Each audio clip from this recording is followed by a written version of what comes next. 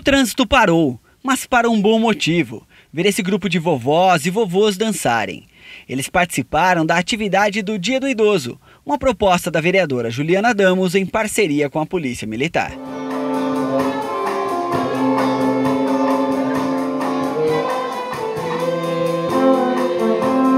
Foi dia de voltar ao tempo, de movimentar o pé, bater palmas e dar aquela mexida no corpo ao som da banda da PM.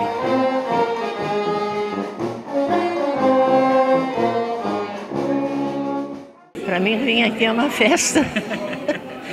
a música é diferente e a gente não tem tanta oportunidade de, de participar, de, de ouvir, de assistir.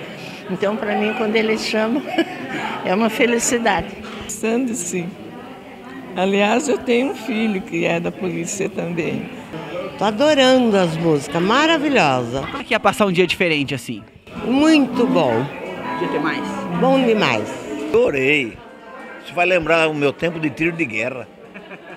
Da outra vez eu emocionei, eu chorei, rapaz. É mesmo?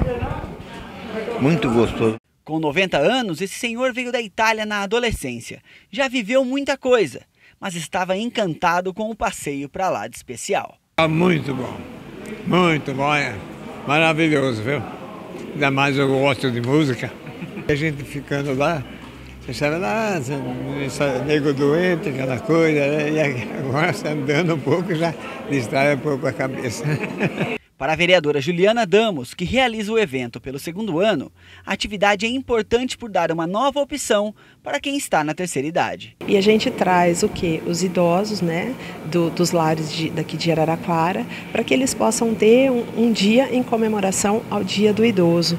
Então a gente proporciona é, a, a, banda né, da polícia toca, eles dançam, eles se divertem e também tem uma, uma apresentação do canil da Polícia Militar. Foi foi um sucesso, a intenção é essa, porque às vezes as pessoas vão até o asilo, né, e eles ficam naquele no local, né, que eles moram, enfim, não é tão divertido quanto eles saírem de lá, estar num local novo com pessoas diferentes, porque aqui você coloca, por exemplo, três asilos, né, então são pessoas de, de, de outros lares é, que eles interagem que eles dançam, que eles se divertem. O grupo de idosos da Vila Vicentina e Lar São Francisco tomou um lanche e assistiu uma apresentação do canil da polícia.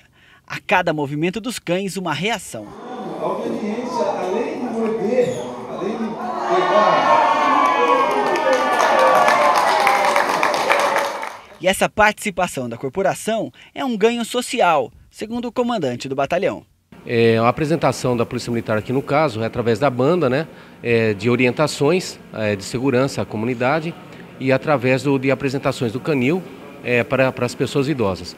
Isso aí melhora a imagem da, da, da instituição e aproxima a Polícia Militar de, de, desse público-alvo. Né? No dia em que completava 80 anos, Dona Zelinda mostrou um texto sobre o que é ser idoso. Idoso, você não tem só rosas, só cravos, só só assim coisas boas. Temos muitos espinhos, mas tem que saber retirando os espinhos.